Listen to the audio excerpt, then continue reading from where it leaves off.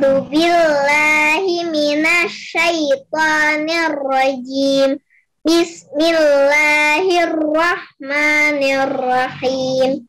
Illa ma Allah. Innahu ya'lamul jahra wa ma yakhfa. Artinya, kecuali apa yang dikehendaki oleh Allah karena sesungguhnya ia mengetahui apa yang terang dan barang yang tersembunyi. Sadaqallahul azim. Terima kasih Ustaz. Kecuali apa yang dikehendaki Allah. Tafsirnya, artinya bahwa dengan kehendak Allah jua, tidaklah mustahil kalau kadang-kadang ada yang terlupa baginya. Dan kelupaan yang kadang-kadang itu sebab beliau manusia, mesti ada padanya. Yang tidak pernah lupa sama sekali hanya Allah saja. Nabi SAW pun bersabda, Innama ana basyarum mithlukum ansa kamatan sauna fa'idha nasitu fadhakiruni. Rawahul Bukhari wa Muslim. Tidak lain aku ini hanyalah manusia seperti kamu jua. Aku pun lupa sebagaimana kamu lupa, sebagaimana kamu lupa. Maka bila mana aku, lupa, aku kelupaan, peringatilah aku.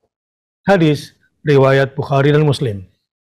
Jadi rupanya di sini uh, Bu Hamka masih uh, ya masih membuka ruang kemungkinan ada lupa.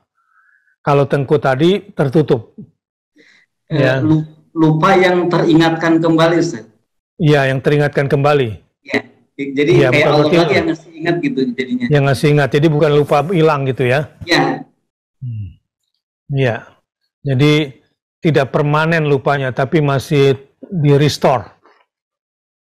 Ya, oleh Allah Subhanahu wa taala. Disebut di pangkal ayat ini illa masya Allah kecuali apa yang dikehendaki Allah. Untuk menjelaskan bahwa meskipun pada umumnya tidaklah ayat-ayat itu akan terlupa oleh beliau, namun ingatan beliau tidak juga lah seperti ingatan Allah. Tetapi kalau telah diingatkan yang lupa sedikit itu, beliau ingat kembali semuanya. Iya, masya Allah, betul. Ustaz. Beliau ingat kembali semuanya dan beliau teruskan lagi membacanya. Dan hmm. itu bukanlah satu aib. Allah. Penjelasan Bu Hamka mantap, Ustaz. Iya. Mantap banget. Iya. Ujung ayat 7. Sesungguhnya dia mengetahui yang nyata dan apa yang tersembunyi. Innahu ya'lamul jahra wa ma yakhfa. Artinya, sesungguhnya hanya dia saja, Allah yang serba tahu. Dia tahu barang yang nyata, dia ingat semuanya, sebab dia yang empunya. Dia yang menguasai dan yang tersembunyi dari penglihatan mata. Baik karena terlindung oleh sesuatu atau tidak akan dapat dilihat dibuat selama-lamanya oleh kita manusia. Meskipun dia barang yang sedekat-dekatnya kepada kita, umpama otak benak kita sendiri, mata dan jantung kita sendiri, atau punggung kita namun bagi Allah semuanya itu diketahuinya.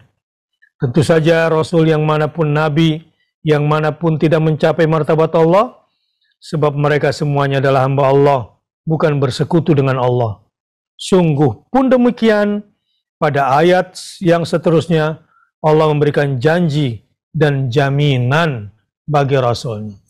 Wanu yassiruka apa? Lil yusra ya wa nuyassiruka lil yusra.